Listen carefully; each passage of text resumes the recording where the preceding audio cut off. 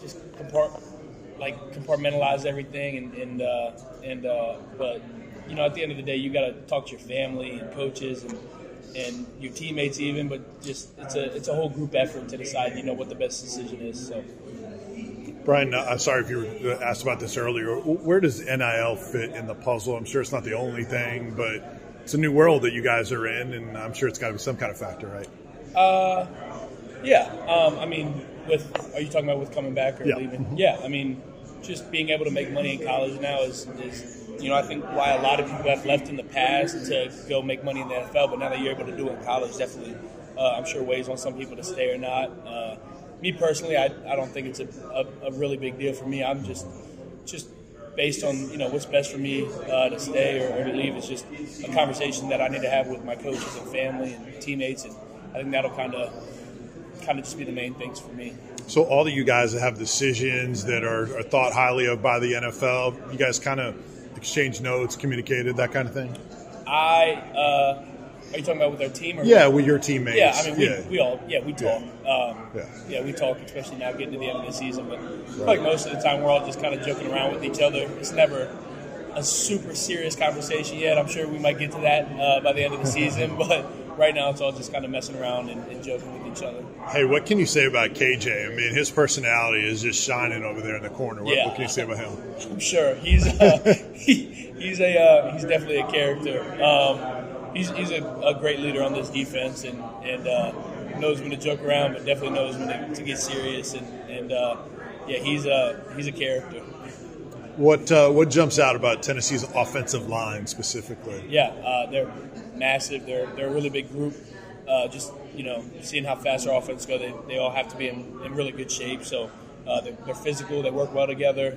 Uh, they have some veterans up front. So um, it's, I mean, a really really solid, really good group. So.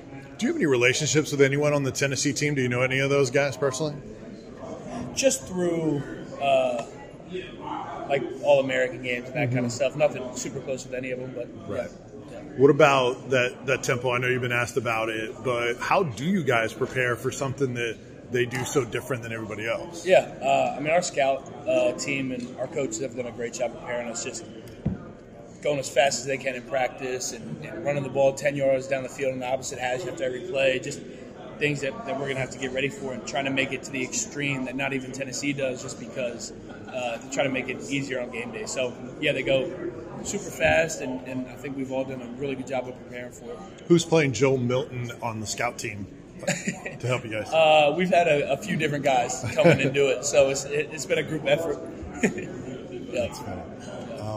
What about those wide splits? What what is what kind of strain does that put on a, an entire defense? The way they spread the field sideline to sideline. Yeah, I mean it's um it's a I mean it's a it's a different group that we're playing against than, than what we've played against uh, anybody else in the past. So just you know not only that, but just getting lined up, getting calls in before they hike the ball because how fast they go. It's, it's all that just puts strain on strain on the defense. But we've done a. Uh, I mean, our scout team has done awesome all week long, just trying to get us ready for it. Our coaches have done a great job trying to get us ready for it. So, uh, you know, I think everyone on our team feels pretty prepared for it. Their run game, whether it's the backs or the blocking, is there anything comparable to what you've seen this year? Would you compare them and maybe schematically or talent wise, anyone you've played this year that you can think of? Um, mean, they have a bunch of really solid backs. I don't think we've had a team that we've played as deep as they do uh, in the back in the backfield. Um, their line uh, is definitely probably the biggest line that we played all year. Um, they're aggressive. They're physical up front. Um, maybe maybe up front closer to like a Notre Dame kind of O line. Um, so yeah, I mean they're uh, they're they're a really good group, really really good all around. So we're uh, we're excited to play them. Excellent. Thanks. Yeah.